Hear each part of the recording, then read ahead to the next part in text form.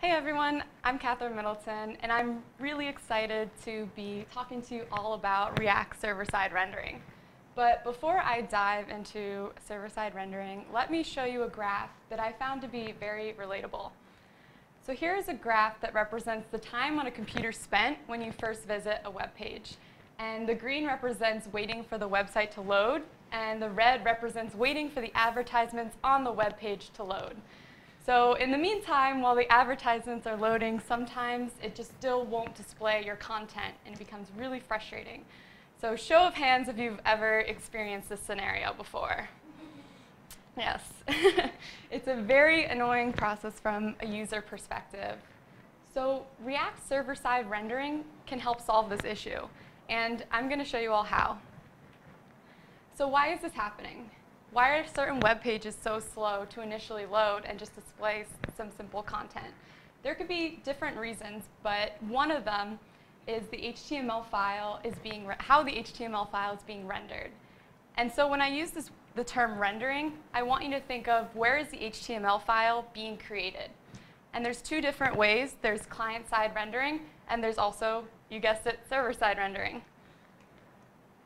So first, client-side rendering. This is where the HTML is being created in the browser by JavaScript. So here's the file that is being returned from the server, and it's very small.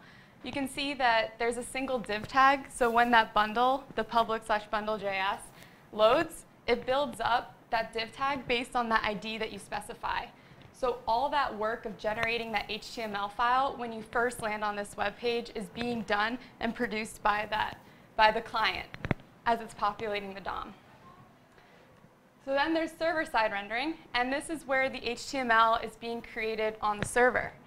So when the server receives a request, it renders the required components into an HTML string, and it sends a response to the client, which is what you're seeing here. So this is the response that the server side is sending to the client. So based on client side and rendering, uh, server side rendering, who can predict which one would be faster at rendering? Would it be client side or server side? Server. Good answer. That is correct. So server side is faster at the initial page load. So why is it faster? Since the server is rendering the HTML file, all that information is already there when it comes back to the client. The user doesn't have to wait for the JavaScript files to load in order to see content on the page. Without server-side rendering, it might take a while for the page to load, especially if the user is on a slow connection, which I'm going to demonstrate later throughout my presentation. It also shows something even on old and unsupportive browsers, which is, as you may know, it's really difficult for JavaScript to behave the same across all browsers and, uh, and devices. With server-side rendering, it makes sure that JavaScript runs correctly across all browsers and devices and it gives overall a better user experience. It's also, server-side rendering is also great at search engine optimization, SEO. So it's more reliable for metadata and linking and getting all those keywords. Since the server is po already populating that HTML file, it's easier for uh, within the with Google to allow users to, to find your site more easily since the HTML file is already being populated. And then there's also, it's easier to test. Because all that information is already there in that HTML file, you can just test that file itself. Versus if you were to create um, a client-side rendering, you would have to create a new browser, send a request to the server, and then when it comes back, you would have to call the bundle.js file, and then it would load that div tag. So how can I implement this in my React application? So first, you want to obtain the data needed to render the initial loading page. So this is all the content that's being displayed on your current uh, web, web page.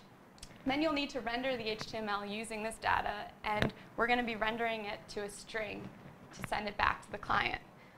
So the third is package the HTML and send it back to the client side. So how does the server know when it's the initial state? And when to package the HTML with the initial data. We're going to use Redux. So when using Redux uh, server rendering, we need to know when it's the first time the client lands on the site. So this can be done using Redux, so the server must send the state of our application along in our response so that the client knows that it's used as the initial state. So Redux's only job on the server side is to provide the initial state of our application. So now I'm going to show you a demo, and it's a simple portfolio site using React, and I've created it one using client-side uh, rendering and the other server-side rendering. So here's the site. It's just a basic uh, portfolio page, and if you scroll down, there's a couple sections and a contact me form. So we have two different uh, sections here. The server, so this is server-side rendering, and then we have the client-side rendering. And I'm going to refresh these pages while the cache is disabled to show you how fast these pages will load on the initial page load. And we'll look at the time and see those differences. So I'm going to refresh the client and refresh the server. And we'll take a look and see. So if we look at the server, it was 1.86 seconds versus the client was 2.39 seconds. So the server was slightly faster, but we, are, we do have really high-speed internet connection right now. And let's say that we are walking to the subway and we just really need to find content of a concert we're going to, uh, and which in this situation, server-side rendering would be a lot more optimal because we'll be able to see that content a lot faster. So I'm going to have this be in a regular 3G connection for server side as well as the client. And let's refresh the page and see what happens. So client side and server side.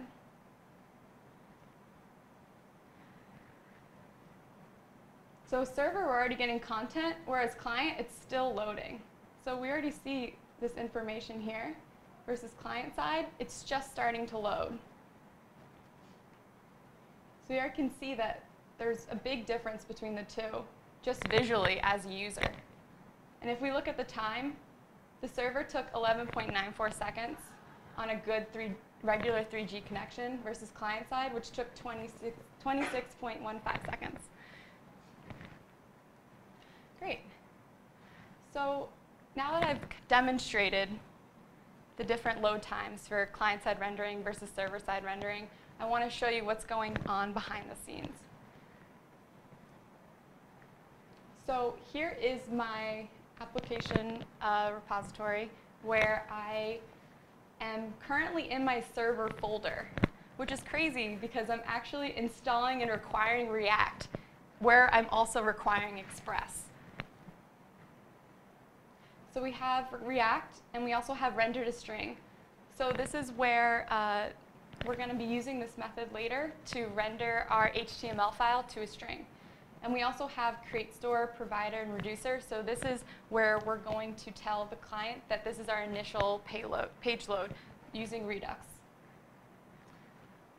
So first we're going to use this handle render method, and we're going to have this preloaded state. And this is taking all of our information, the projects, project data, uh, and sidebar info, just some basic content, and we want to create a fresh new Redux store in the instance of every request. So we're going to be passing that in, creating the store with our reducer. And then we're going to render the React component to a string. So here's our HTML, and we're calling this render to string method that we imported up here from our React DOM slash server. And you can think of this method, so it's like, it's very similar to React DOM.render. So if you remember in the, if we're in our browser application, and we look at our app, or sorry, our index, we have react dom.render and we pass in these values and we specify which ID to populate the HTML in. So if we look back at our server, here, this is, we're doing the same thing. We're passing in our page, con page container and as well as our store. Then we're going to grab the initial state from our Redux store by store.getState and send the rendered page back to the client. So before sending it, we're going to render this full page, which is this method right here. And it takes our HTML in that preloaded state that we saw up here. And this is the template of the HTML file that we're returning back to the client. And here's the HTML that we've rendered previously as a string, and you can see it's being added to our div ID app tag right here. And if we look back to our server code, here's that div ID app, and you can see here all of the HTML being populated within that div tag. And then we also need to let it know the preloaded state, all that data that's necessary to load before uh, it sends it back to the client. So here's our preloaded state, and we go back to our HTML file, and we can see that information being populated right here with all our content and information that's on the state. And the last thing that we need to do is in, within Redux, we want to check to see if a window has this preloaded state on it. And if it does, then we know to uh, tell it that the state is the preloaded state. Awesome. So that demo concludes my talk, and I definitely had a lot of fun using React server-side rendering, especially knowing I could use React in the same application as Express. Like it was, it was a lot of fun exploring it, and I really encourage you all to do the same, especially if you want a faster page load and just better SEO optimization so more users can find your page. And yeah, thank you so much for listening.